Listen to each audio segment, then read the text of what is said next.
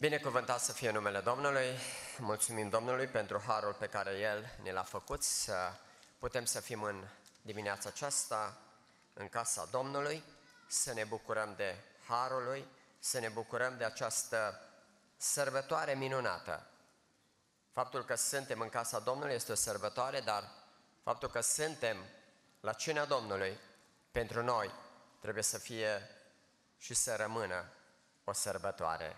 Zic ca numele Domnului să fie lăudat. Amin. Vă aduc salutări sfinte din partea fraților din România și în mod special din zona de sud, din județul Dolj, din zona în care cu ajutorul Domnului de 21 de ani slujesc. Sunt, spuneau și frații, sunt din județul Bihor, dar Domnul ne-a chemat în lucrare în zona aceea într-o zonă mai aridă, dar frații care sunt acolo în Băilești, în Rast, în Piscu Nou, fratele Ionuț Popescu, vă transmit salutări sfinte, harul și binecuvântarea lui Dumnezeu. Și o doresc ca harul acesta să vă fie înmulțit și dumneavoastră aici și nouă acolo. Dumnezeu este Cel care binecuvântează sămânța aceea care este semănată. Și vedem în fiecare zi cum Dumnezeu adaugă la numărul copiilor lui, a poporului său. Și în zona aceea aridă în care, după cum poate unii știți, este o zonă mai săracă din punct de vedere spiritual, bineînțeles și material, dar în mod special spiritual, oamenii care ajung așa de ușor în împărăția lui Dumnezeu. Câteva gânduri doar despre ceea ce este în zonă, vă, poate vă reamintesc unora.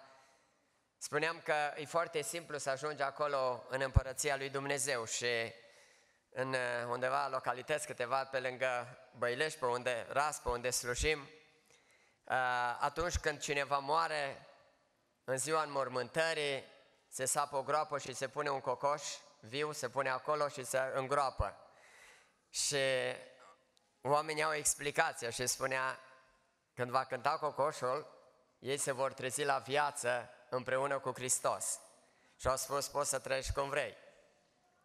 E zona în care oamenii cred că dacă cineva a murit fără lumânare și aprind lumânări la nu știu câte biserici, câțiva ani la rând, vor găsi lumina. Sau dacă totuși au murit fără uh, lumânare și trebuie cumva să-l ajute și mai mult, se duc și pun un cocoș alb dacă se poate și în, cer, în general este alb, îl pun în curtea bisericii acolo într-un covac și uh, dacă cocoșul acela va cânta a doua zi de Paști, înseamnă că cel care a murit fără lumânare a găsit calea înspre împărăția lui Dumnezeu și nu mai trebuie să mai aprindă atâtea lumânări, să facă atâtea pomeni. Și a fost întrebat și preotul. Și a venit și a spus, păi, de ce tocmai cocoșul? Și vine și dă ex- exemplul acela, spune, ă, când Petru s-a lepădat de Domnul, era întuneric și a trebuit nevoie, a fost nevoie de o lumină. Spune, a cântat cocoșul și Petru s-a întors la Domnul, s-a pocăit și ce om mare a ajuns Petru și spune, în felul acesta se întâmplă cu cei care mor uh, în uh, situația aceasta fără lumină și mă rog ca Domnul să, să se îndure de noi. Și mă rog ca Domnul să ne întărească noi să fim acolo lumini, să luminăm în zona aceea întunecoasă. Și eu cred că Dumnezeu este Cel care ne dă înțelepciune, ne dă pricepere, cum să facem lucrurile acestea și să facem toate în voia lui Dumnezeu. Încă un lucru, uh, zona de sud este și în mod special județul Dolj este uh, județul care este uh, numărul unu în ocultism. Vorbitul cu morții, a merge să vorbești cu ei, să vezi ce le mai trebuie ca să poți să le dai, Uh, să vorbești și să spună și îți spun, știi, mai am nevoie de un pat, mi s-a stricat patul, am nevoie de ochelari, am nevoie de un radio sau știu eu de ce, uh, oamenii aceia merg și cumpără și dau la alții ca să le ducă dincolo, uh, pentru că așa i-a spus vrăjitoarea aceea care a vorbit cu mortul.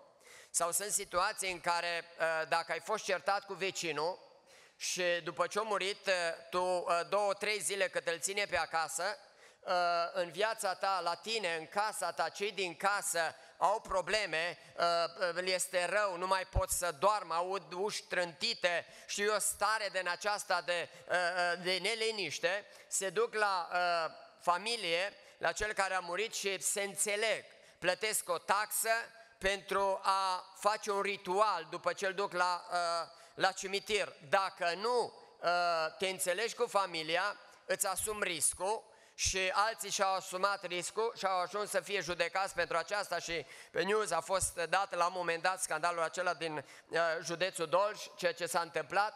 Uh, deci spuneam, dacă ai astfel de probleme, te duci la familie, plătești o taxă, asta e de comun acord, se înțeleg ei, nu există o taxă anume. Și după ce l-au dus la cimitir, Uh, familia se duce, uh, dezgroapă din nou mortul, scoate capacul acela, uh, desfac mortul, scot inima de acolo, se duc la o răscruce de ape, ard inima aceea, apoi toată cenușa aceea o pun într-un bol, pun apă, spunem noi așa mai în glumă, fac, fac un shake din acela și apoi dau la toți membrii din familie, toți cei care nu pot să doarmă, cei care sunt tulburați, să bea astfel de apa aceea și apoi au scăpat uh, de uh, lucrurile acestea. Lucrurile acestea sunt realități pe care v-am spus, le, le găsiți și dacă căutați pe Google veți găsi scandalul acesta care a fost în Dolj. Oamenii sunt în, într-un, într-un întuneric, dar îi mulțumim lui Dumnezeu. Sunt oameni care se pun la dispoziția lui Dumnezeu, sunt oameni care își asumă acest risc de a ieși din, lumina, din, din întunericul acela și să vină la lumină și zic ca numele Domnului să fie lăudat și cât mai mulți oameni să vină la lumina cuvântului lui Dumnezeu.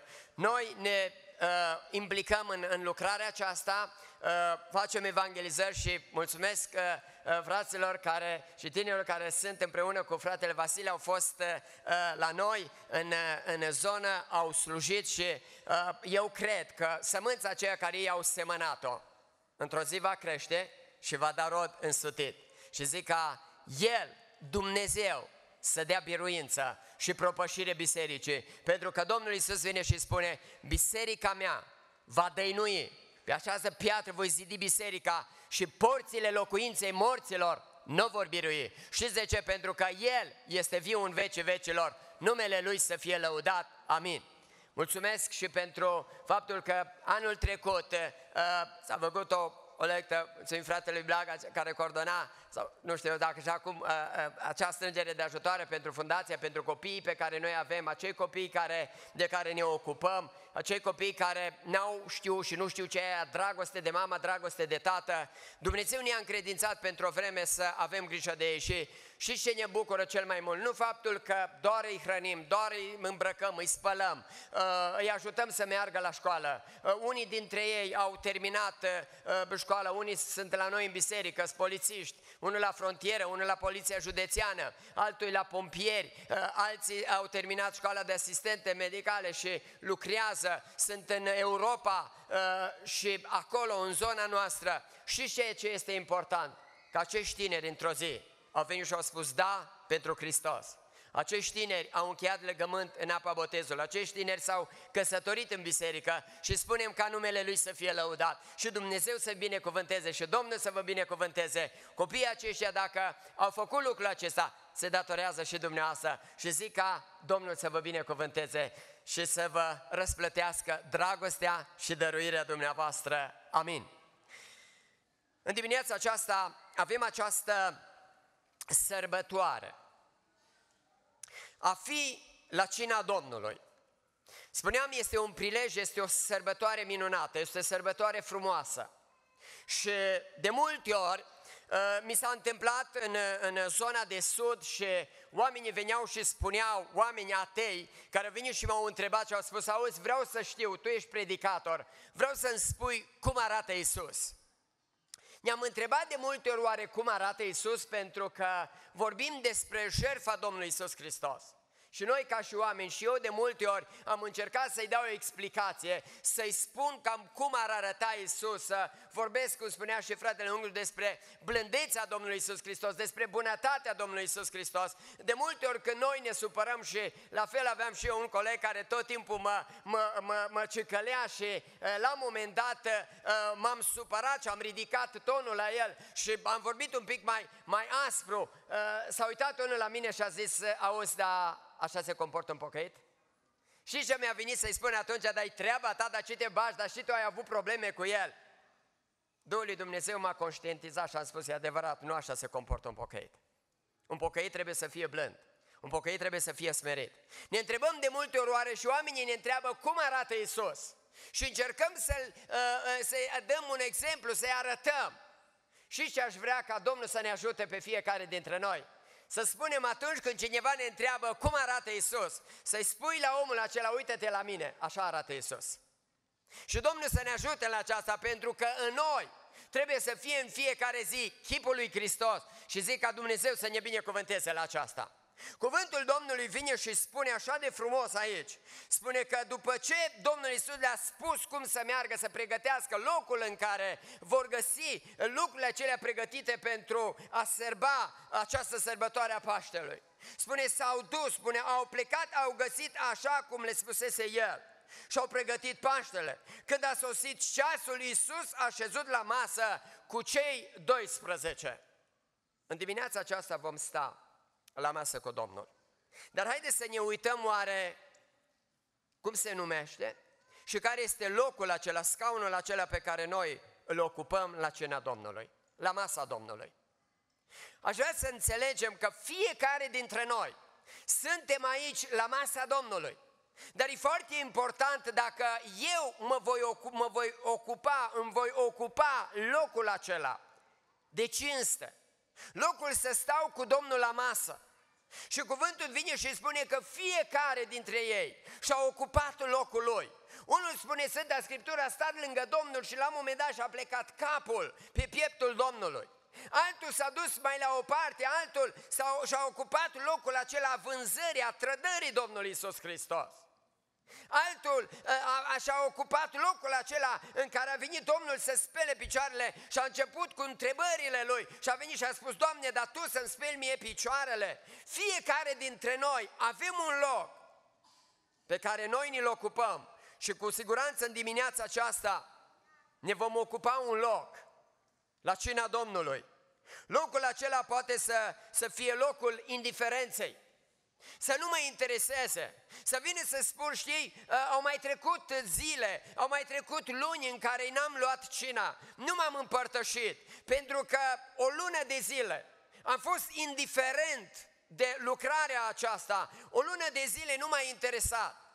De multe ori noi ca și oameni și am fost crescut, uh, eu chiar dacă provin dintr-o familie de, de ortodoxi, uh, am mers de copil în biserică pentecostală. Și mi-amintesc că frații întotdeauna cu o săptămână înainte spuneau, fraților nu uitați că urmează cina Domnului să ne pregătim.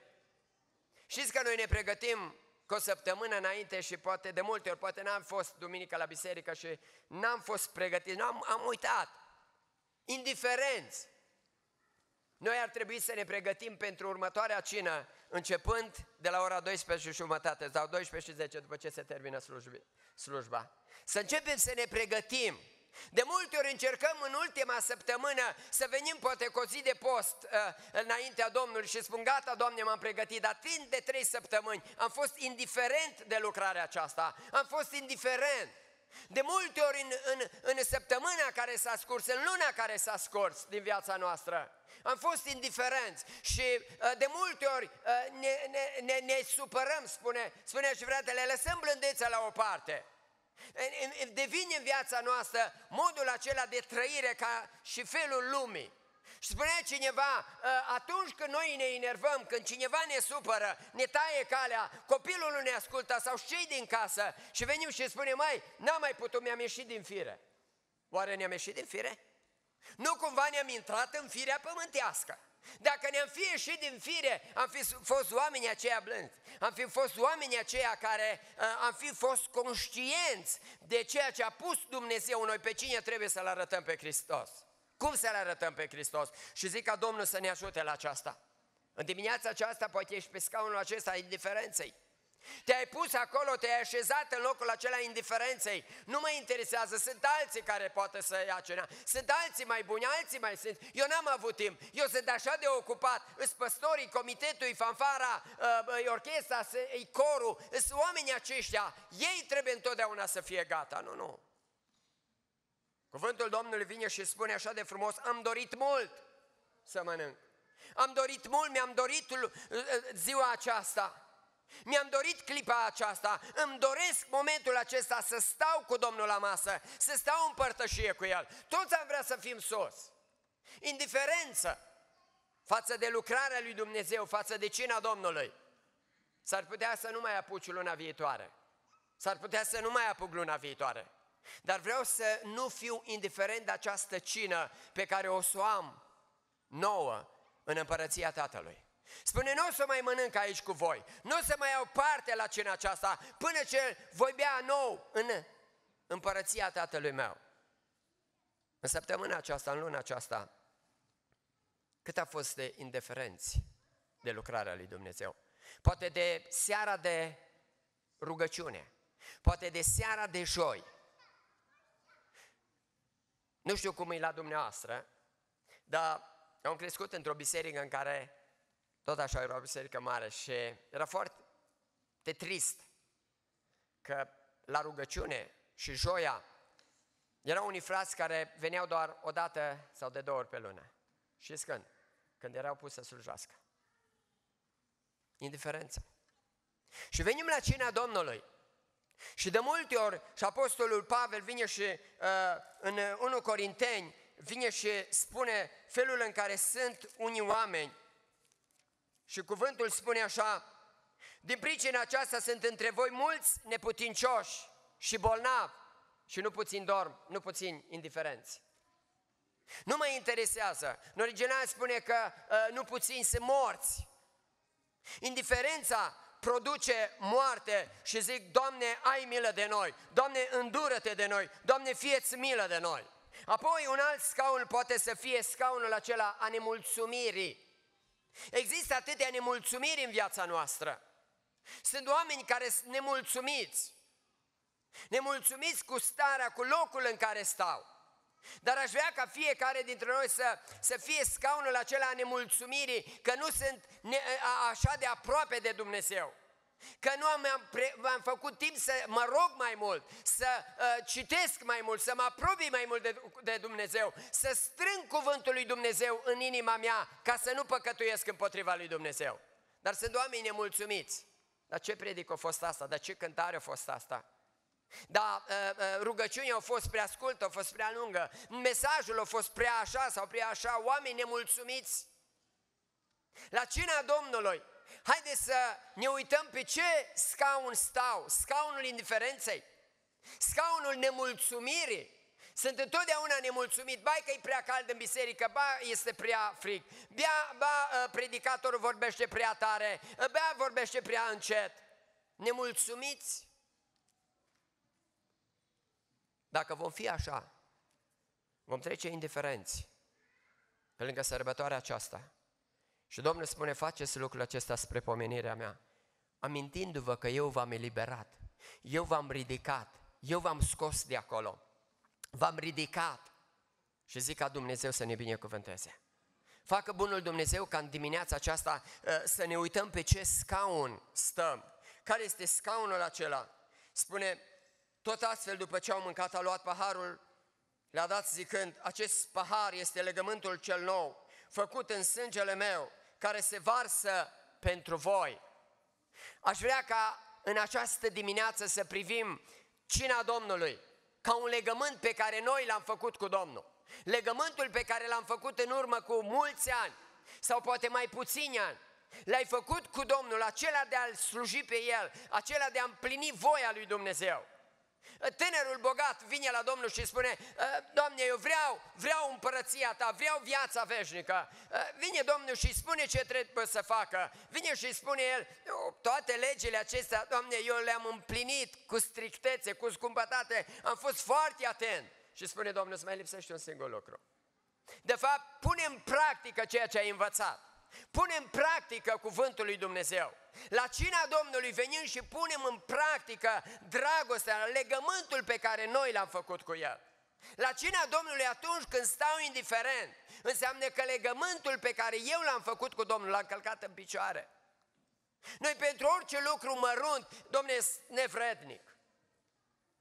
Cuvântul Domnului spune fiecare să se cerceteze dar pe sine și așa să mănânce. Noi de obicei ne cercetăm și nu mâncăm. E interesant. Ne cercetăm și spunem, Doamne, spăcătos și nu pot. Cred că avem harul în fiecare dimineață. Și atunci, mai ales când este cina Domnului și cred că în fiecare duminică, să poți să mergi la pastor, să mergi la comitet și să spui, eu vreau să mă apropii, dar ceva, ceva nu-mi dă pace. Uh, m-am cercetat în viața mea și nu știu, nu am această libertate. Apostolul Pavel vine să spune, vă cercetați și așa mâncați. Noi de obicei ne cercetăm și ne-am rezolvat, gata, Doamne, Tu știi că eu m-am cercetat, m-am văzut, sunt nevrednic. Aș vrea să te întreb, oare când ai fost vrednic de cena Domnului? Știți că stăm pe scaunul acesta și ne vedem atât de vrednici.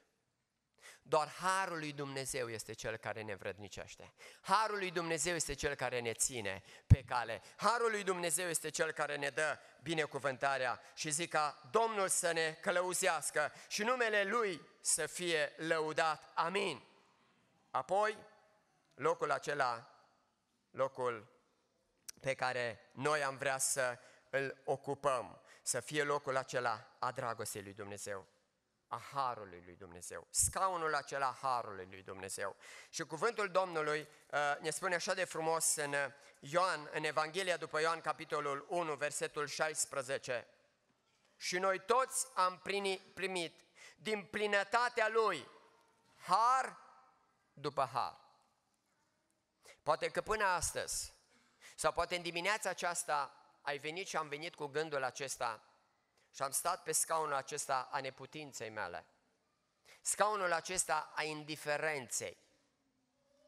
Sau poate ai fost indiferent de sfințenie și ai venit și ai spus, mă, dar și altă dată am luat cina și nu mi s-a întâmplat nimic. Nu contează că n-am stat în post, nu contează că nu m-am pocăit, nu m-am smerit înaintea Domnului, că a, acum mi-am dat seama că e cina Domnului, nu mi s-a întâmplat nimic.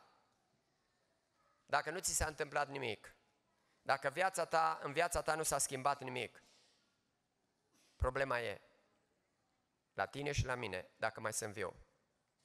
Cineva a încercat la un frate să-i spună, auzi, uh, eu nu simt nicio povară a păcatului. Nu simt. Tot vorbești de povara păcatului care te apasă. Și a întrebat omul acesta și a spus, ai văzut vreodată ai fost la vreo mormântare? Și a spus da. Ai fost până la cimitir? Și a spus da, am fost. Ai văzut cât pământ se aruncă pe un sicriu acolo, pe un mort? Și a spus da. Le-ai auzit pe vreunul țipând? Nu. Înseamnă că tu nu simți povara păcatului pentru că ești mort. Nu simt povara aceasta. Facă bunul Dumnezeu ca în dimineața aceasta să fim vii pentru Hristos. Învierea noastră să se vadă. Învierea noastră se vadă, vede la cina Domnului, părtășia aceasta. Învierea Domnului se vede că în momentul în care m-am mutat de pe scaunul acela a indiferenței, scaunul nemulțumirii, scaunul batjocorei, Scaunul acela, m-am mutat pe scaunul Harului lui Dumnezeu. Numai Harul, cântăm cântarea, numai Harul este acela care îmi dă putere să merg înainte. Numai Harul lui Dumnezeu îmi dă putere să mă apropii de El. În dimineața aceasta, zic ca Domnul să ne ajute, să ne mutăm de pe scaunul acela, să ne mutăm pe scaunul Harului lui Dumnezeu, Harului dragostei lui Dumnezeu.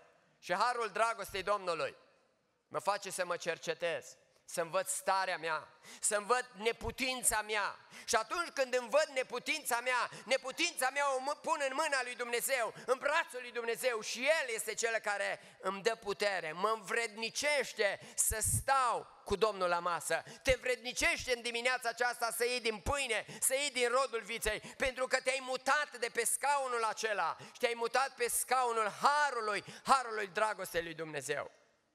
Facă bunul Dumnezeu ca fiecare dintre noi să stăm pe acest scaun al Harului și în fiecare zi să putem să vedem bunătatea Domnului, să putem să vedem dragostea Domnului. Versetul 15, am dorit mult. Când dorești mult, să stai cu Domnul la masă, te pui pe scaunul Harului, har, pe scaunul îndurării lui Dumnezeu. Nu treci indiferent. N-am putut, nu știu, n-am știut, dar nu-s vrednic. Dar tu știi câte lupte am în casă? Am crescut într-o familie de ortodoxi. Și știți că ortodoxii și ceilalți văd tot ceea ce noi, nu, noi, noi ar trebui să facem, ce nu facem bine? De câte ori mă supăram, de câte ori vorbeam cu ai mei un pic mai, mai răstit, spuneau, așa înveți în Biblie? Așa învățați voi pocăiții? Așa trebuie să fie un pocăit? Știți că nu întotdeauna ne convin lucrurile acestea? Dar atunci când noi suntem pe scaunul indiferenței, îmi va spune, lasă, pocăiește-te tu întâi. Vino și tu să te pocăiești. Indiferenți, ce atunci când aud lucrurile acestea, sunt pe scaunul Harului Dumnezeu, spune, Doamne, mi-ai dat Harul ca în dimineața aceasta să fiu la cină.